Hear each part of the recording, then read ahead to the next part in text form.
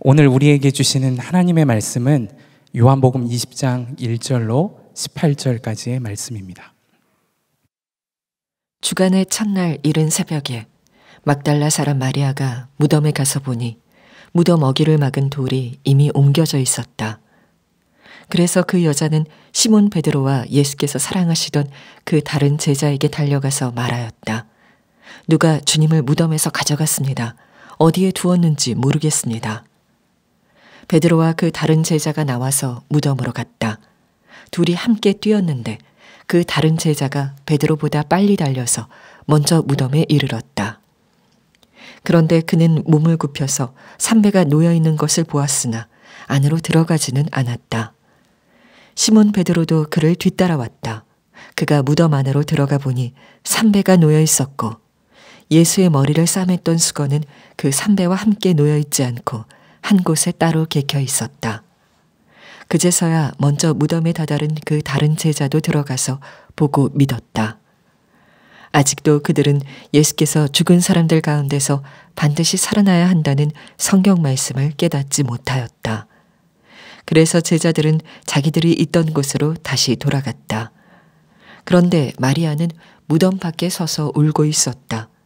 울다가 몸을 굽혀서 무덤 속을 들여다보니 흰 옷을 입은 천사 둘이 앉아 있었다. 한 천사는 예수의 시신이 놓여 있던 자리 머리맡에 있었고 다른 한 천사는 발치에 있었다. 천사들이 마리아에게 말하였다. 여자여, 왜 우느냐? 마리아가 대답하였다. 누가 우리 주님을 가져갔습니다. 어디에 두었는지 모르겠습니다. 이렇게 말하고 뒤로 돌아섰을 때 그 마리아는 예수께서 서 계신 것을 보았지만 그가 예수이신 줄은 알지 못하였다. 예수께서 마리아에게 말씀하셨다. 여자여, 왜 울고 있느냐? 누구를 찾느냐? 마리아는 그가 동산지기인 줄 알고, 여보세요. 당신이 그를 옮겨 놓았거든. 어디에다 두었는지를 내게 말해 주세요. 내가 그를 모셔가겠습니다. 하고 말하였다.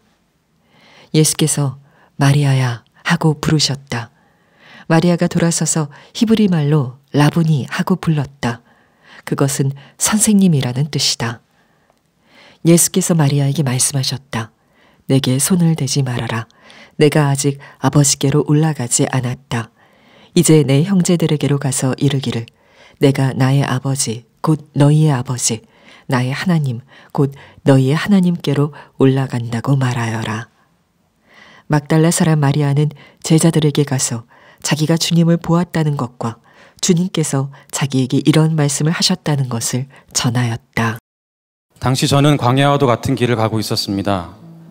선교사 훈련원을 하셨던 아버지께서 돌아가시면서 남기고 가신 10억 원대의 빚을 상속받게 되어 재정적인 어려움을 겪고 있었고 마음의 병이 있으신 어머님으로 인해 저와 아내가 힘든 시간을 겪고 있었습니다. 감당하기 너무나도 버거운 삶의 무게로 인해 저의 믿음은 너무나도 불안정했습니다. 제가 바라보는 삶은 절망적이었고 소망이 없었습니다. 주님을 바라보는 눈이 열리자 정말 놀랍게도 그 빛이 눈에 들어오지 않게 되었습니다. 이전에는 하루 종일 그 문제만을 생각하고 묵상했는데 이제는 정말로 신기하게 주님만을 생각하게 되었습니다. 네, 간증 이후로 남편은 어, 이전과는 전혀 다른 진짜 사람이 바뀌는구나 이런 모습을 저도 보면서 되게 놀라고 감탄했었는데 저는 여전히 그 우울함 그리고 끊이지 않는 어떤 불안 때문에 되게 많이 힘든 시간을 보냈어요. 저희 아이들에게 고스란히 흘러갔다는 걸 제가 증명했을 때 그때가 사실 저는 죽을 것 같이 힘들었어요. 절대 내 자식에게만큼은 주고 싶지 않은 부모의 마음을 그때 되게 너무 절절하게 알게 됐던 것 같아요. 우리 그 교구의 여자 지역장님들이 어, 일주일 동안 집중해서 우리 저와 아내를 위해 우리 가정을 위해 기도를 해주셨거든요. 울면서 기도한 소리가 일주일 이렇게 계속 됐었거든요.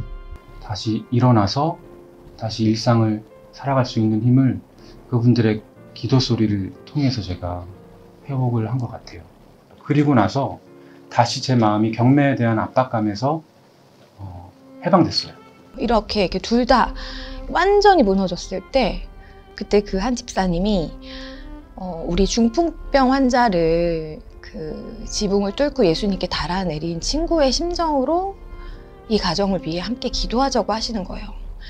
근데 그게 사람이 주는 위로였으면 그냥 한 번 울고 말았을 텐데 그게 그 사람을 통한 주님의 위로였기 때문에 제가 일어나서 다시 말씀과 기도의 자리 남편도 다시 일어나서 다시 주님 믿음 붙잡는 그 길로 나갈 수 있었던 것 같아요. 미래에 대한 불안함, 그 두려움, 그리고 뭐 죽을 것 같은 그런 시간들 속에서 어, 하나님 저를 건져내 주셨어요. 그래서 정말 죽음에서 저를 다시 살리신 어, 그런 의미에서 이번 부활절이 정말 의미가 있고요. 그 모든 힘들었던 시간들 가운데 하나님이 원하셨던 건 제가 죽는 거였더라고요. 그 경매가 낙찰되는 또 중보기도의 그 응답의 역사를 통해서 하나님이 완전히 제 힘을 다 빼놓으셨고 어, 완전히 십자가에 죽게 하셨어요. 어, 이번 부활절 때 처음 그런 나는 죽고 주님이 내 안에 부활하신 것 같은 느낌으로 다가와서 저는 너무 감사하고 이 부활절이 너무 의미 있고 아마 두고두고 우리 아이들에게 어, 주님이 엄마 아빠의 삶 가운데서 이렇게 역사하셨어 어, 이거를 계속 전해줄 것 같아요. 그래서 너무 감사해요. 그 상한 심정, 그 찢긴 마음 가지고 하나님께 달려가셔서 다 토해내시는 저는 그 가운데 하나님의 음성을 들었고 그 가운데서 제가 회복이 됐거든요. 그래서 그 어려운 마음 가지고 하나님께 나아가셔서 다 쏟아내시고 주님의 사랑으로 채우실 때 그 다음부터는 주님께서 이끄실 것을 믿어요. 어두운 터널을 죽음의 그 구덩이에 빠져 있는 것 같다고 생각되는 어, 모든 분들이 어, 하나님의 그 사랑의 음성을 어, 듣고 그 사랑을 붙잡고 또 믿으시게 되기를 네, 소망합니다.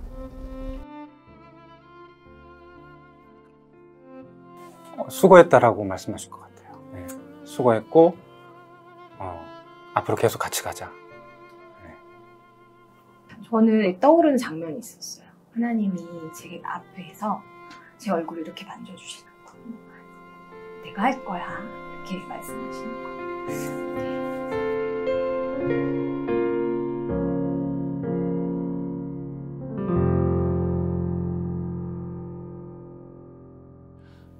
송한민 집사님 내외분의 사정을 여러분이 모든 풀스토리를 잘 알지 못하시니까 아, 특별히 오는 감동도 좀 적지 않을까 하는 아쉬움이 있긴 합니다만 아, 신실하게 하나님의 기뻐하는 뜻대로만 하려고 몸부림쳤던 과정을 잘 알기에 오늘 간증이 참 귀하고 감사하다고 그렇게 느껴집니다. 아, 지난 주간에 아, 일간 신문의 어느 종교 담당 기자가 오셔서 부활절 메시지에 대한 인터뷰를 하셨어요. 아, 그때 인터뷰 내용이 쭉 진행이 되고 마지막에 질문을 하시더라고요. 아, 예수님을 믿지 않는 사람들은 예수님이 부활하셨다는 사실을 정말 믿기 어렵습니다. 아, 이 세상 사람들에게 예수님 부활하셨다는 것을 어떻게 설명하시겠습니까? 그런 질문을 저에게 주었습니다. 아, 저는 이 질문이 지금 현재 우리 교회와 또 그리스도인들에게 주는 도전이라고 생각합니다. 세상 사람들에게 예수님이 부활하셨다는 것을 어떻게 설명할 것인가. 어, 여러분, 예수님이 부활하셨다는 것을 우리는 믿고 오늘 부활절 예배를 이렇게 참 감격스럽게 드리지만 대단히 위험한 일이기도 해요. 예수님이 부활하셨다고 하는 사실을 믿는 것은 우리 기독교가 유일한 진실한 종교다. 그렇게 되든지 아니면 거대한 사기꾼 집단이다. 그렇게 되든지 둘 중에 하나입니다. 그러니까 오늘 우리가 예수님이 부활하셨다고 이렇게 믿고 고백하는 것은 우리에게는 사실 굉장히 심각할 수도 있는 내용이에요. 세상 사람들은 안 믿습니다. 예수님이 부활하셨다는 걸. 아주 뭐 안 좋게 생각하는 사람들은 완전히 거짓이라 거짓 집단이라고 말하고 좋게 말하는 사람들은 신화일 거다 또는 집단 최면이겠지 뭐 그런 정도쯤 생각합니다. 그래서 성탄절에는 다른 종교도 다 축하해 줘요. 근데 부활절은 분위기가 다릅니다. 실제로 예수님이 부활하셨다는 것은 안 믿기가 더 어려워요. 정말 정말 그 진실을 알고 싶어서 예수님의 부활에 대한 기록과 증거들을 쭉 살펴보면 안 믿기가 어렵습니다. 첫 번째는 빈 무덤이에요. 올해 부활절 우리 교회 로비 어, 장식의 컨셉이 빈 무덤입니다. 예수님의 시체가 없다는 거예요. 로마 군인들과 대제사장의 무리들이 어떻게 해서든지 예수님의 시체만 찾았다면 그때 벌써 교회는 끝났습니다. 두 번째는 초대교회 부흥이에요. 유대교, 로마, 그리고 헬라, 철학, 엄청난 세력입니다.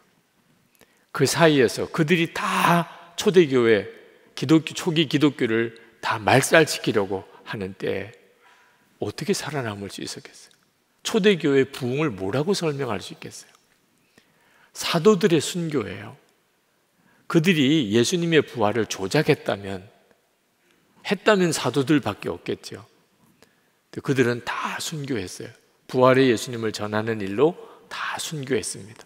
자기들이 만든 거짓말로 자기들이 순교할 수 있겠습니까? 또 하나가 증인들이 너무 많았어요. 고린도전서 15장 26절에 보면 아, 예수님의 부활을 본 증인들이 동시에 본 사람은 500명이 넘는다고 그랬습니다. 그들이 고린도 전서가 기록될 당시에 반 이상이나 살아 있었습니다. 예수님의 부활을 목격한 증인들이 그렇게 많은데 어떻게 거짓말로 예수님의 부활을 말할 수 있었겠냐는 겁니다. 또 하나가 부활의 첫 증인이 오늘 읽은 성경 본문에 나옵니다. 막달라 마리아예요. 그때 당시에 여성의 증언은 법정에서 효력이 없었습니다. 여자가 증언했다. 그건 법적인 효과가 없었어요. 그 정도의 시대입니다. 그런데 만약에 예수님의 부활을 아주 교묘하게 조작한 내용이었다면 이왕이면 예수님의 부활의 첫 증인을 남자로 기록했겠죠. 그것도 귀신 들렸던 여자. 막달라 마리아가 예수님의 부활의 첫 증인이라고 기록된 것 자체가 이건 누가 조작을 하면 이건 완전히 바보 같은 일이 되는 거죠. 자, 이처럼 예수님의 부활에 대한 증거는 부인하기가 어려울 만큼 너무나 분명하지만 실제로 예수님의 부활의 진짜 핵심은 예수님이 부활하셨다는 사실과 함께 예수님의 부활하신 예수님을 만났다는 거예요. 예수님이 부활하신 것을 만났기 때문에 예수님의 부활은 부활 신앙으로 이어집니다. 예수님 이제 부활 승천하시고 난 다음에 초기 기독교를 그 유대교와 로마가 말할 수 없이 핍박을 했습니다. 그들이 생각하기에는 전도자를 부활을 전하는 자들을 잡아 가두고 죽이면 기독교는 없어질 거라고 생각했어요. 그런데 핍박하면 할수록 기독교인들을 잡아 가두고 죽이면 죽일수록 초대교회는 더 부흥하는 거예요. 초대교회 부흥은 사도들이나 전도자들이 이루어낸 게 아닙니다. 예수 그리스도셨어요. 예수 그리스도께서 부활하신 주님이 초대교회를 부흥시키셨던 거예요. 만약에 역사책에 예수님의 부활을 기록했으면 그러면 세상 모든 사람들이 다 믿을 수 있었을 텐데 하는 질문도 있습니다. 실제로 예수님이 부활하시고 난 다음에 빌라도에게 찾아가서 나다 이렇게 한 번만 하셨다면 그래서 빌라도가 기절했더라. 뭐 이렇게만 됐다면 뭐 더 이상 예수님 부활에 대한 논란도 없었지 않았겠는가? 저는 그렇게 생각하지 않습니다. 예수님께서 헤로드 왕에게 대제사장에게 찾아가서 혼을 내줬다. 만약 그랬다면 그러면 예수님의 부활 이야기는 권선징악의 그저 한편의 복수극 만화 영화 같이 됐을 거예요. 그 완전히 수준이 다른 차원이 되어버립니다. 예수님을 십자가 못 박아 죽인 장본인이 빌라도나 헤롯 왕이나 대제사장이 아니거든요.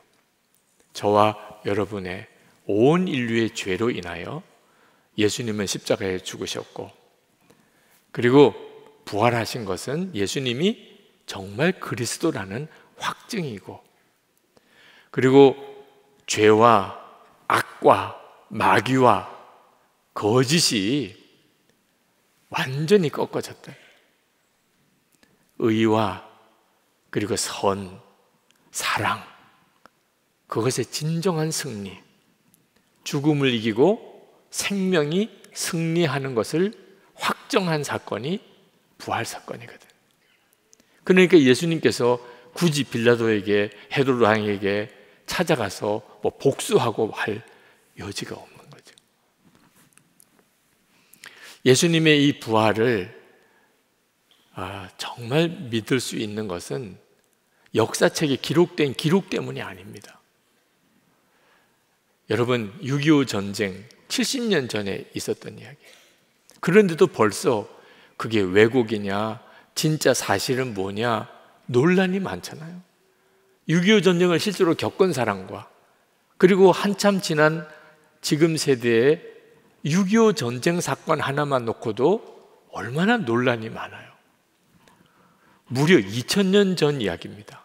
예수님이 십자가에 죽으시고 부활한 사건. 역사책에 기록이 되어 있어도 나는 안 믿어. 안 믿어져. 틀림없이 그렇게 됩니다. 어떻게 해결되지요? 부활하신 예수님을 만날 때 해결돼요. 부활하신 예수님을 만나면 그걸 어떻게 부정할 수 있겠어요? 예수님이 재림에 오실 때 그때는 모든 사람들이 다 예수님이 부활하셨음을 다 알게 되겠죠. 그러나 예수님이 재림에 오시기 전에 지금도 사람들이 예수님의 부활에 대하여 알 수 있는 길이 있는데 바로 예수님의 부활을 믿는 성도들과 교회를 통해서 알게 되는 겁니다. 왜냐하면 우리들은 부활하신 예수님을 우리 마음에 모시고 사는 사람이니까. 여기서 부활 신앙이 나오는 거예요. 예수님의 부활을 정말 믿는다. 오늘 여기 계신 분들은 다 믿으실 겁니다. 그러나 예수님의 부활을 믿는다고 그래서 그의 삶이 부활의 능력으로 사는 것은 아니에요. 예수님의 부활을 믿기는 믿지만 여전히 무기력한 삶을 사는 성도와 교회가 많습니다. 왜 그렇죠? 예수님이 부활하신 것을 믿지만 실제로 부활하신 예수님을 내가 만난 게 아니니까요. 여러분, 예수님의 제자 도마 아시죠? 예수님의 제자 도마가 다른 제자들이 다 부활하신 예수님을 만났다는 거예요. 예수님 부활하셨다는, 자기들이 보았다는 겁니다. 자기들에게 말씀하셨다는 거예요. 그런데도 도마는 어떻게 말했죠? 내가 만나기 전에는 내가 부활하신 예수님을 만나서 그 손에 못자국, 그리고 허리에 있는 창자국을 내가 보지 않으면, 만져보지 않으면 나 믿을 수 없다고요. 예수님의 제자 도마도 그랬습니다. 우리가 세상 사람들에게 예수님이 부활하셨다는 증거를 아무리 말로 설명해 줘도 그들은 믿을 수가 없다고 할 거예요. 그런데 하나, 우리가 부활하신 예수님과 동행하는 삶을 살게 될 때, 그래서 어떤 죄도, 어떤 악한 것도, 어떤 고난도 우리가 이겨갈 때, 죽음도 두려워하지 않는 소망을 가지고 살 때, 말할 수 없는 기쁨에 충만한 삶을 살 때, 비로소 그들이 예수님이 부활하셨나? 그렇지 않으면 설명이 안 되니까. 초대교회 설명이 안 됐. 그러니까 많은 분들이, 많은 사람들이 예수님의 부활의 복음을 듣고 그들이 예수를 믿게 됐어요. 보지 못하지만 예수님을 사랑하기까지 했다고 그랬습니다. 마리아가, 막달라 마리아가 예수님의 십자가에 죽으시는 것을 보고 말할 수 없는 슬픔에 사로잡혔습니다.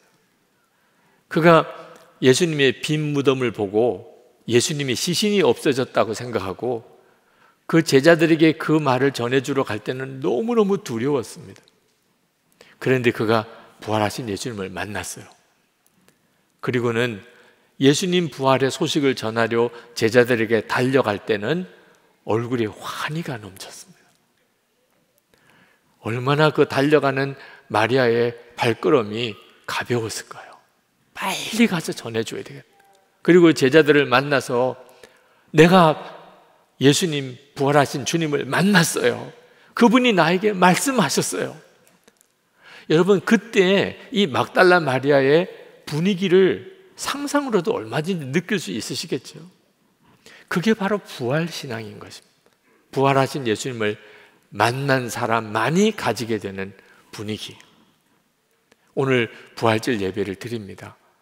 여러분에게는 이 부활의 예수님을 만난 마리아와 같은 그런 생동감이 있는 분이 사망의 권세를 이겼어요. 어떤 미움과 증오도 이기는 사랑의 사람이 되었어요. 어떤 고난도 두렵지가 않아요. 그렇습니까? 그게 우리에게 과제인 거예요. 예수님의 부활을 믿지만 부활의 예수님을 만나지는 못한 그리스도인들이 너무 많은 겁니다. 오늘 예수님께서 우리에게 주시는 말씀이 죽은 자들 가운데서 일어나라 하는 겁니다. 에베소서 5장 14절 말씀이에요. 그러므로 이르시기를 잠자는 자여 깨어서 죽은 자들 가운데서 일어나라. 그리스도께서 너희에게 너에게 비추이시리라 하셨느니라. 여기서 죽은 자라고 하는 것은 육신은 살아 있지만 영이 죽은 그런 세상 사람을 말합니다. 살아있지만 사실은 죽은 자인 것. 잠자는 자는 영생은 얻었어요. 예수를 믿고. 그러나 세상 사람들하고 똑같이 살아요. 세상 사람 좋아하는 거 자기도 좋아하고, 세상 사람 바라는 거 자기도 바라고, 세상 사람 목표로 삼은 거 자기도 목표로 삼고, 세상 사람과 다를 바가 하나도 없어요. 이런 사람이 영생은 얻었으나 세상 사람처럼 사는 그 잠자는 자예요. 영적으로. 깨어 일어나라. 그 말은 더 이상 세상 사람들처럼 살지 말라는. 이 말씀이 오늘 부활절을 맞이하는 우리에게 주시는 주님의 말씀입니다. 예수님의 부활을 믿는다고는 하지만 실제로는 부활하신 예수님을 만나지 못하면 그렇게 돼요. 여러분, 예수를 믿어도 실제로 살기는 내가 세상 사람하고 똑같이 사는데 그렇게 생각되시는 분들은 영적으로 어떤 상태인지를 정확히 알아야 합니다. 시체 더미에 거기서 누워서 자고 있는 거예요. 화들짝 놀랄 일이죠. 아니, 깨어보니까는 사방이 시체예요. 내가 여기서 자고 있었어? 영적인 눈이 뜨이지 않으니까 아무렇지도 않게 살아가는 거죠. 실제로는 사실 끔찍한 일인 거예요. 왜 그렇게 사는 거죠? 부활하신 주님을 만나는 눈이 뜨이지 않은 겁니다. 오늘 부활절 예배를 드리면서 우리는 예수님의 부활을 그저 기념하는 기념식을 하고 있는 게 아니에요. 예수님은 죽었다가 부활하신 사건 하나를 이루시려고 이 땅에 오신 게 아닙니다. 지금도 예수를 믿는 성도들과 함께 함께 사시려고 그렇게 부활하신 거예요. 오늘 주님이 여러분에게 한 사람 한 사람에게 말씀하고 있어요. 죽은 자들 가운데서 일어나라. 여러분, 여러분 중에 부활의 주님이 나와 함께 계시다는 게 믿어지지 않으시는 분들이 있으실 거예요. 나 잘 모르겠어. 그게 무슨 말인지. 여러분 오늘 교회 오시는 과정에서 아마 많은 사람들을 만났을 겁니다. 차를 타고 오든 또는 뭐 지하철을 타고 오시든 또는 이렇게 걸어서 교회까지 오실 때 많은 분들을 만났을 거예요. 근데 그 만난 사람들을 기억하시나요? 그냥 스쳐만 지나갔지. 지금 전혀 기억이 안 나실 겁니다. 그처럼 예수님을 실제로 마음에 모시고 살면서도 예수님을 마치 스쳐 지나가는 사람 보듯이 그렇게 보고 지나는 사람이 많은 거예요. 그러니까 예수님이 살아계신 부활의 주님으로 나와 함께 계시다는 것을 나는 믿지 못하겠어. 이런 말이 나오는 거예요. 마음이 없는 거예요. 예수님에게 마음이 없는 거예요. 예수님에게 마음이 있는지 없는지는 시간 쓰는 거 보면 알아요. 돈 쓰는 거 보면 알아요. 여러분이 주로 어디다 시간 쓰는지, 여러분 돈을 어디다가 쓰는지 거기에 여러분의 마음이 가 있는 겁니다. 마음이 예수님께 있지 않으면 부활하신 주님이 여러분과 함께 계셔도 여러분은 전혀 주님이 같이 계신 것 자체를 모르고 살아요.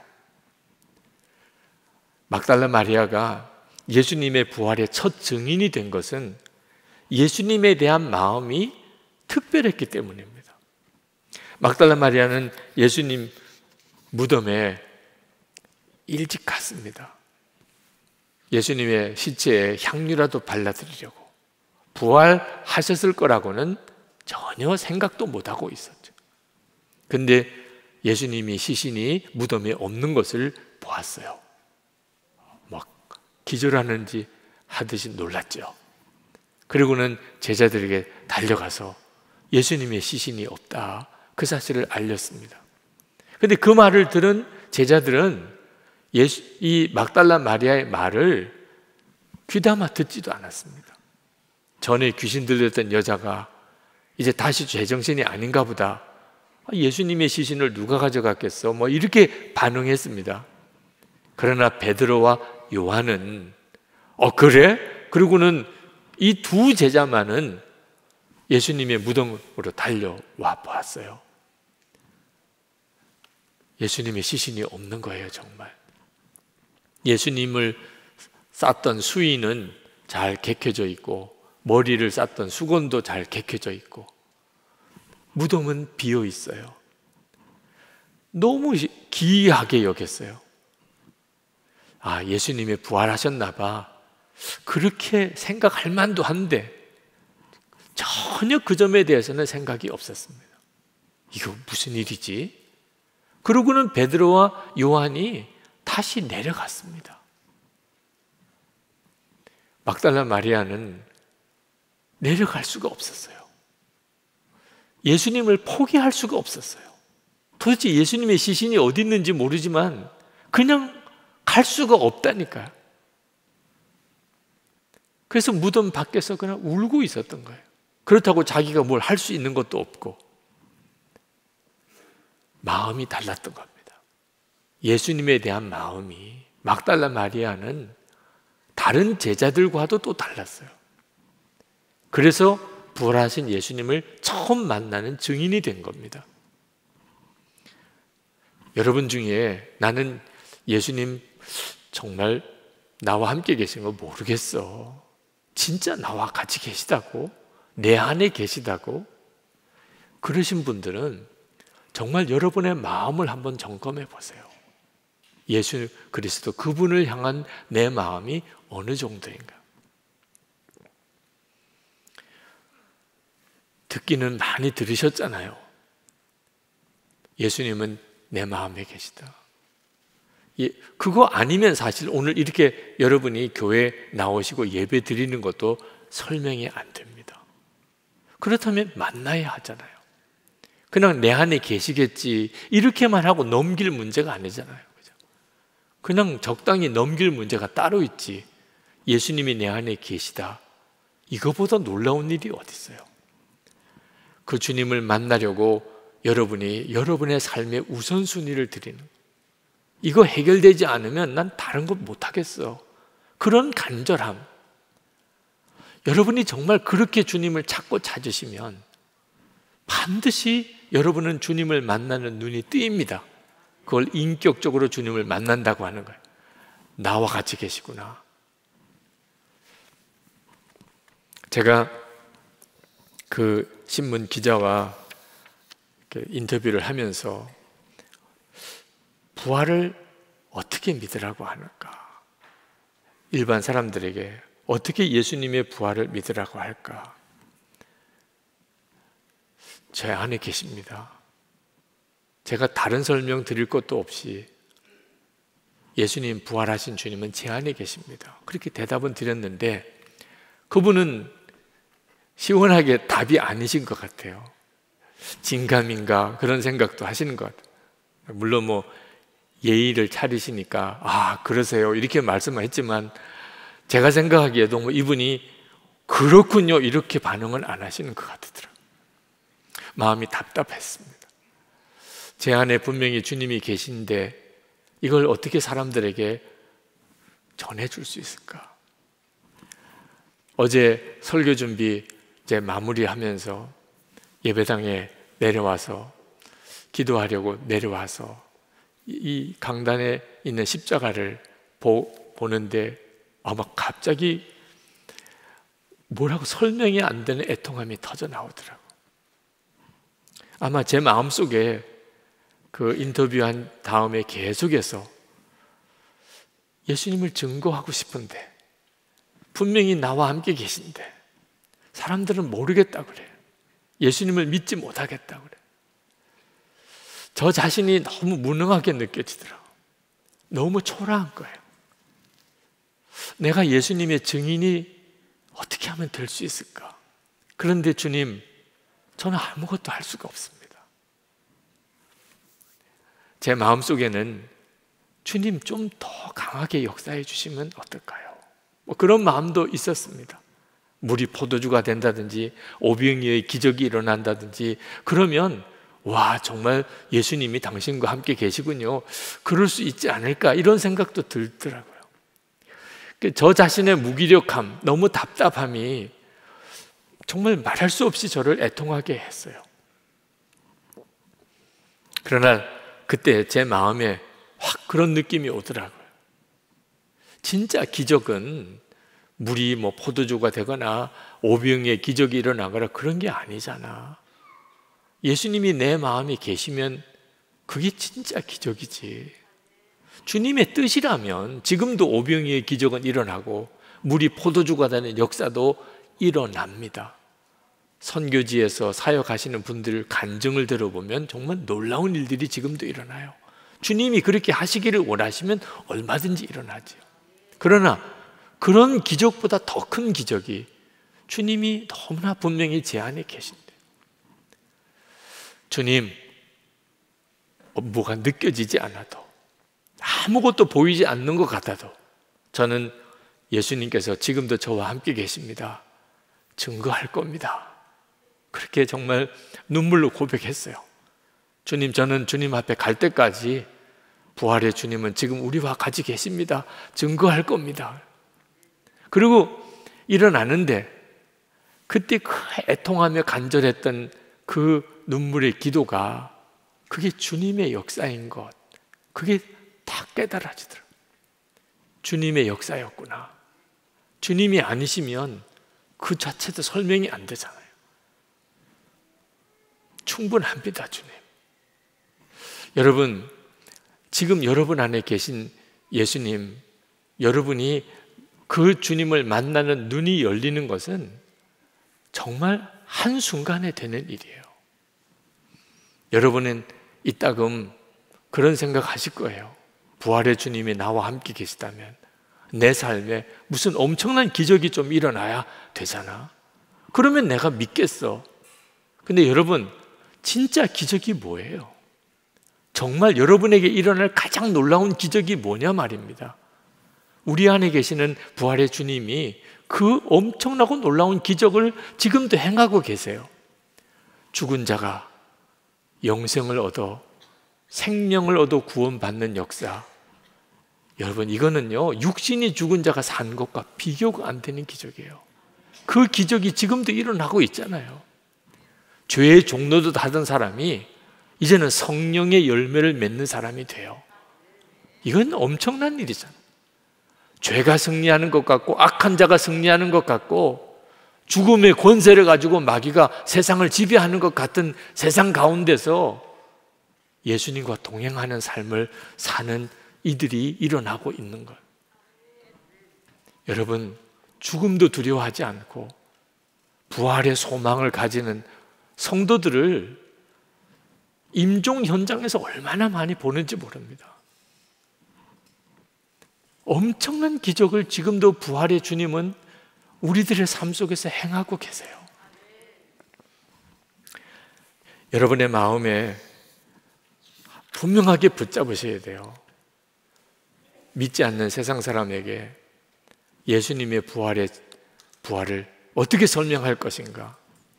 2000년 전 빈 무덤만 아닙니다. 분명히 2000년 전 그 빈 무덤은 예수님의 부활의 증거예요. 그러나 가장 확실한 증거는 지금도 내 안에 계신 부활의 주님이에요. 세상 사람들 앞에 우리가 뭐라고 예수님의 부활에 대해서 설명할 겁니까? 여러분은 그들에게 뭐라고 설명할 거예요? 부활의 주님이 지금 제 안에 계십니다.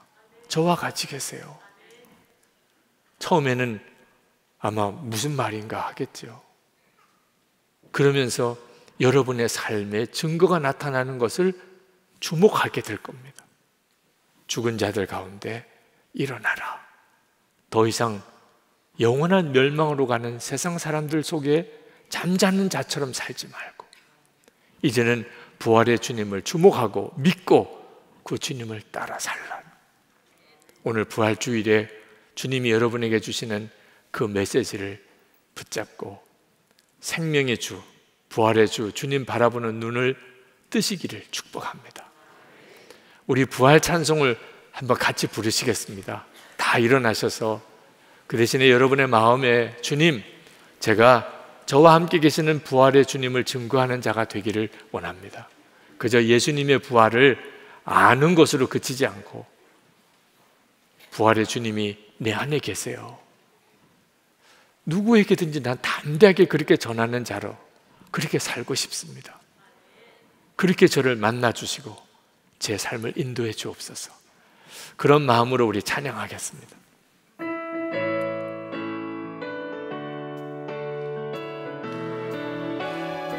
무덤에 머물러.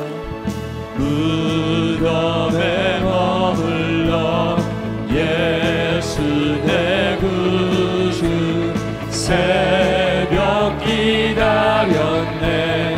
예수 내 주. 원수를 다 이기고 무덤에서 살아나셨네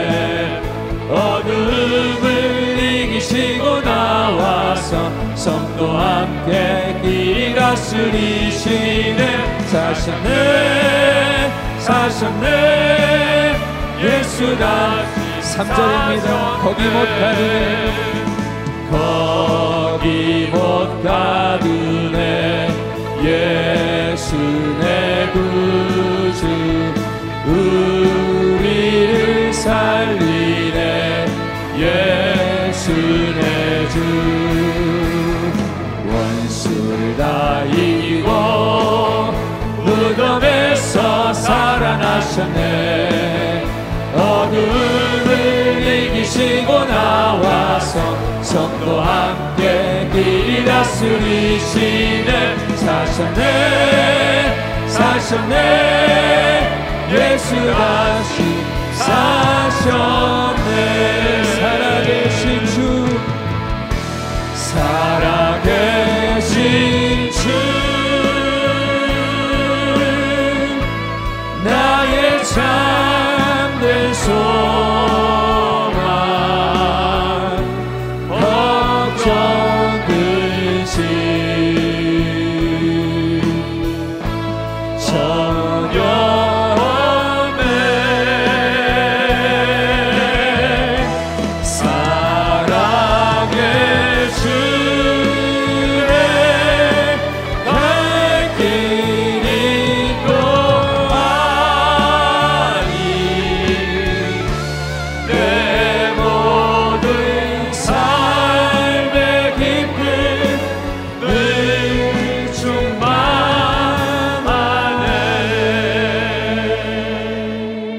부활의 증인으로 살게 해주셔서. 부활의 주님과 동행하는 삶을 살면서 부활 신앙으로 살게 해주셔서. 우리 다 같이 기도하겠습니다. 은혜와 사랑이 충만하신 하나님, 놀라우고도 크신 하나님의 은혜를 감사 하나님의 역사하심 우리 가운데 좋아야 하나님 마리아처럼 부활의 주님을 만난 하나님과 감격과 기쁨으로 살게 하시고 지금도 부활의 주님이 우리와 함께 계심을 담대하게 증거하는 자가 되게 하여 주소서. 아버지 하나님 오늘도 사랑하는 성도들의 마음과 심령에 주님의 진리 말씀하시고 성령께서 감동하시고 하나님의 놀라운 은혜로 역사하시고 하나님의 손으로 분들을 일으켜 주시고 죽은 자들 가운데 깨어 일어나게 하시고 하나님의 역사를 하나님의 은혜를 증거하게 하여 주시기를 원합니다 하나님의 역사하심을 충만하게 도와주시고 아버지 하나님 오늘 부활절 예배 주의 사랑하는 성도들이 죽은 자들 가운데서 깨어 일어나게 하소서. 영원한 멸망으로 가는 자들처럼 그렇게 살지 않기를 원합니다. 예수님의 부활이 사실이냐고 묻는 자들 앞에서 부활의 주님이 지금 내 안에 계시다고 담대하게 그렇게 고백하고 선언할 수 있게 주여 이 시간에 역사해 주소서. 함께 계시는 주님을 바라보는 눈을 분명히 뜨게 하시고 주님과 동행하는 말할 수 없는 감격과 은혜를 부어 주소서. 부활의 능력, 정말 부활의 신앙으로 그렇게 살면서 우리의 가정 안의 분위기가 완전히 달라지고 우리의 일터가 달라지고 우리의 교회가 달라지고 우리 나라와 민족의 하나님의 역사가. 온 세계 열방의 부활의 영광이 드러나게 하옵소서. 오늘도 하나님 앞에 부활절 예배를 드리며 부활절 감사 예물을 주께 드리고 11조와 선경금과 구정금과 그리고 각가지의 제목의 감사헌금 건축원금으로 주께 드리는 성도들을 주님의 손에 올려 드립니다. 주님을 사랑하고 주님을 정말 믿고 주님께 충성하기를 갈망하는 성도들의 감사를 받으소서. 하나님의 은혜로 살게 하시고 주님이 저들의 삶의 모든 영역에서 함께 하시고 지키시고 저들의 삶 속에 승리를 주소서. 부활의 능력으로 살게 해 주소서. 하나님 이 나라에 하나님의 은혜와 영광이 나타나기를 원합니다. 성도와 교회가 일어섬으로 하나님 우리 나라 안에 다시 한번 영적인 대각성이 일어나게 하시고 우리 민족이 이제는 전쟁에서 완전히 벗어나고 북한의 동포들도 구원받고 평화롭게 복음으로 통일되게 하시고 김국기 목사님, 김정욱 목사님, 최충길 선교사님, 장무석 집사님 오늘도 그 이름을 거명하여 주께 올려드리오니 석방되게 해 주소서. 온 세계 전염병이 그치고 전쟁이 그치고 재앙이 그치고 진정한 사랑의 하나님 승리를 하나님 생명의 구원의 승리를 주소서. 우리의 생명의 주 부활의 주 예수 그리스도의 크신 은혜와 독생자까지 내어주신 아버지 하나님의 말할 수 없는 사랑하심과 지금도 우리와 함께 계셔서 부활의 주를 바라보도록 눈을 열어주시는 성령의 교통하심이 부활절 예배를 드리는 모든 성도들과 함께 하시기를 축원하옵나이다. 아멘.